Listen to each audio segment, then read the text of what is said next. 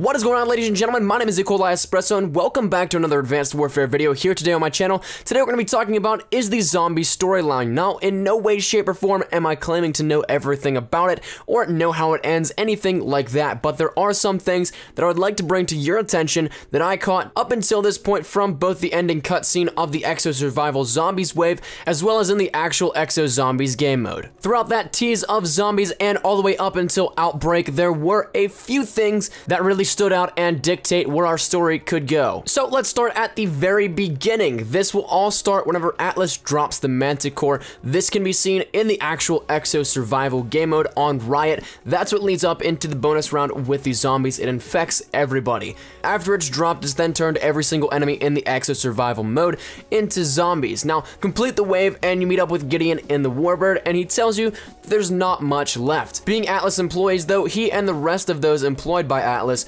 were unaffected. That includes you, the player. It ties in directly with the campaign's Manticore, which targets specific DNA. So Gideon gets pulled into the Horde, we know that, and that's something that we've yet to see resolved, but I'm sure will be resolved throughout the remaining three maps. Now, this is all pre-Havoc at the very moment. Now, as of the Havoc DLC, we got the Outbreak Exo Zombies map. From there, we know a little bit more regarding our story, not much, but some. Now, there are two pieces to this puzzle, one a little more trivial and one that is completely solid. The first of which, surprisingly, the trivial piece is actually the Easter egg. Spoiler alert for those who want to do it by themselves or haven't seen it already. It's a bit anticlimactic. You do all the pieces to complete the Easter egg, but when you do, you call in a warbird and it gets shot down. But the interesting part, though, is what it's shot down by. What it actually gets taken out by is a care package, and all throughout the mode, our characters will mutter stuff about how Atlas is sending supplies through the orbital care packages and that they are air quote watching. We don't get much more than that. Now, the second piece of this puzzle is the death sequences. Depending on how you die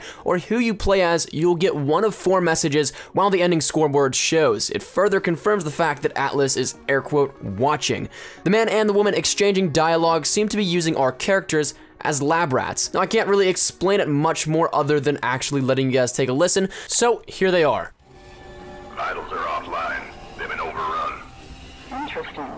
They lasted much longer than the others. So, were the objectives met? No, there's more work to be done. Initiate phase two. Satellite confirmed.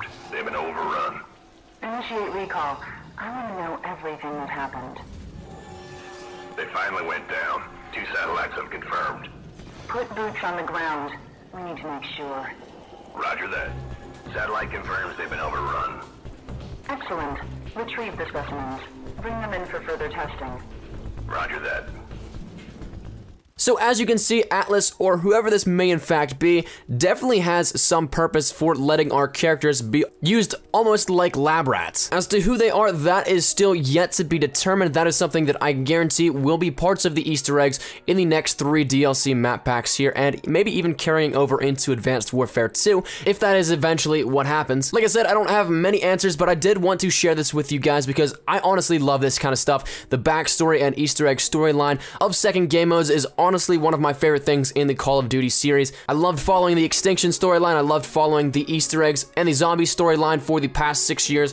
That is something that I honestly love doing, and now that Advanced Warfare has some backstory to it, I want to keep you guys in the loop and let you guys know everything that I know. So to recap before we end this real quickly, there is a bunch of stuff that is going on behind the scenes that a lot of the viewers and players don't necessarily know of. There is somebody either at Atlas or some other faction that is using our characters as lab rats and pretty much testing what can happen with a zombies outbreak and the Manticore DNA bomb. But that's where we're gonna end it today, ladies and gentlemen. Thank you guys so much for watching. Let me just think down there in the comment section down below.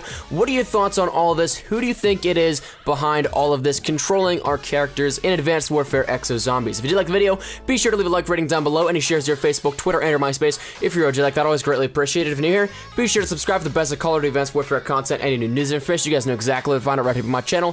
Thank you guys once again so much for watching. My name is eColi Espresso. As always, hope you guys are having a great day. I'll see you guys tomorrow. Take care and peace.